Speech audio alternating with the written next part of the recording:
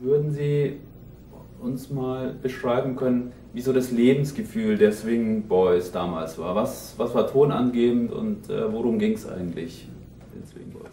Well, es ging um mehrere Sachen. Erstmal war es eine, eine milde Re Rebellierung, Re äh, Rebellierung gegen Autorität.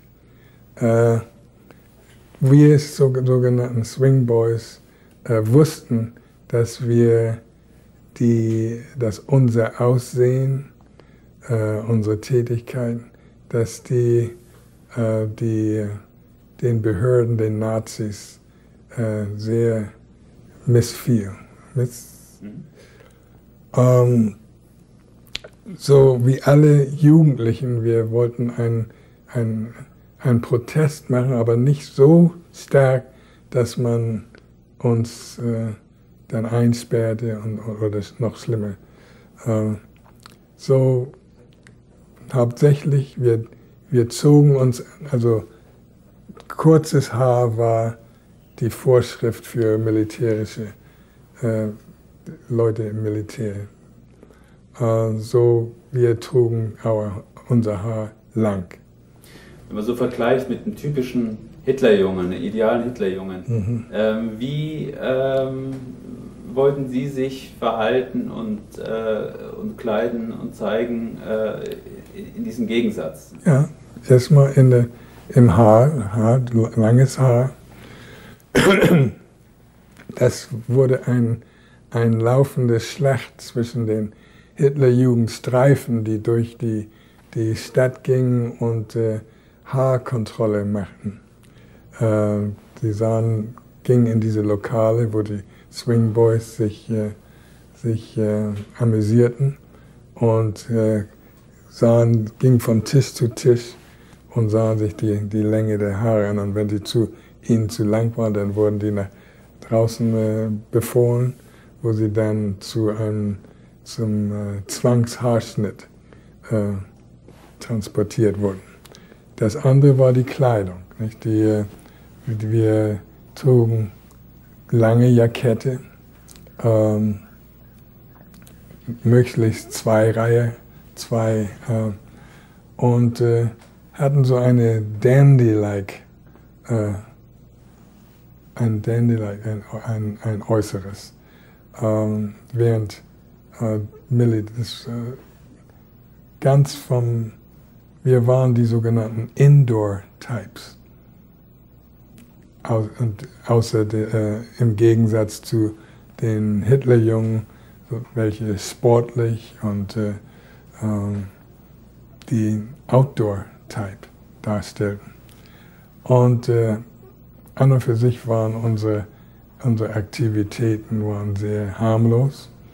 Wir waren alle daran interessiert, englische Musik oder amerikanische Musik, Jazz, zu hören. Und das war natürlich verboten bei den Nazis. Und äh, so wurde, entweder wurde die, die Kapelle, die spielte, wurde dann mal, wenn sie, wenn sie dachten, dass die Luft rein war, dass sie dann mal einen englischen oder ein Jazzstück zwischen den deutschen Stücken spielte. Und was die Folge haben konnte, dass sie, dass sie verhaftet wurden und zum Militär abge, äh, transportiert wurden. Und ähm, also das war so, so, diese beiden Sachen, Musik, Jazz, äh, Mädchen, äh, das war für ich war vollkommen da äh, von, von äh, abge das Wort. Schnitten? Abgeschnitten, ja, ich durfte, mir wurde es schon lange klar gemacht, dass ich kein, keine Verhältnisse mit deutschen Mädchen haben durfte. Und dass ich, also wenn, wenn ich das dagegen verstoßen würde, würde ich, äh, könnte ich entweder sterilisiert werden oder, was noch schlimmer wäre, Abtransport zum Konzentrationslager.